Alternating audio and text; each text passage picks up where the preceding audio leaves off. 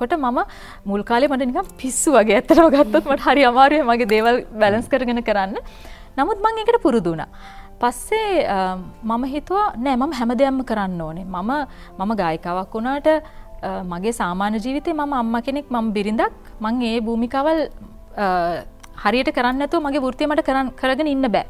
ට පස මගේ හැමදේටම කලින් නැකිටිනවා මට ඇතර මං පැය අටකටත් වැඩිය නිදාගත්ත කෙනෙක් ඒ නින්ද මට එකැන මම ප්‍රසංගවල සහභාගි වෙලා ඇවිල්ලා මට මම සමහරකල දවල් දොල්හවෙනක නිදාගත්ත කෙනෙක්. හැබැයි ම විවාහුණට පස්සේ මට මේ තාක් වෙනකම් පැයාටක් නිදාගෙන නැහැ.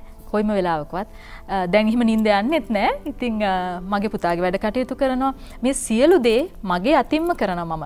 බබාගේ ඇඳුම් මගේ හැම හැම දේම එකැන්නේ බබාගේ කෑම එක හදන්නෙත් මගේ අතින්. කැනෙ ඒ මගේ මව මට සහයෝග ලබා දෙනවා. හැබැයි ම මව අවධි කරන්න දැන් අද මේ වැරසට හනට එන්න කලිනුත් මම උදේ හතරමාරට නැකිටල මගේ බාගේ සියලු දේවල් ඒ වැඩ කටයුතු කරලා ඔහු පාසලට පිටත් කරන අවස්ථා වෙනකගේ සියලු දේවල් කරලා තමයි මගේ මේ වැඩසටහන් සඳහා මං ඊට පස්සේ එන්න පිටත් වෙන්න. ඉතින් මං හිතනවා කාන්තාවක් විදිහට මේ හැමදේම මගේ අතින් කෙරුණ නැත්තම් මට හිතෙනවා මම කාන්තාවක් විදිහට මම මම ෆේල් කියල ම හැමතිස්සම හිතනවා. එහෙම හිතෙන් නැතිවෙන්න නම් මට හැම තැනක්ම මට දැන් කරන්න ඕනේ. මට ගෙදෙට්ටල නිකං ඉන්න බෑ. මං කොයි වෙලාවක් හරි මට ගෙදර මට කුණු කෑල්ලක්වත් මට පේන්න බෑ. මොකද මගේ අතින් මං සුද්ධ කරනවා. මම මම මොප් කරනවා. මම උයනවා. මම හැමදේම කරනවා. ඇ මම ලස්සට නියපොතු හදාගෙන ඉන්න ගොඩක් අයි හිතනවා එහෙම කරන්න බෑ කියලා. අර ගෙදෙට නයිටියක් ඇඳගෙන දරුවන්ගේ වැඩත් කරගෙන මහත්තයා දැක්කහම ගෙදර සේවිකාවක් ඒට වැඩිය ලස්සට ඉන්නවා. සමහර කාන්තාවන්ට හෙම තියෙනවන.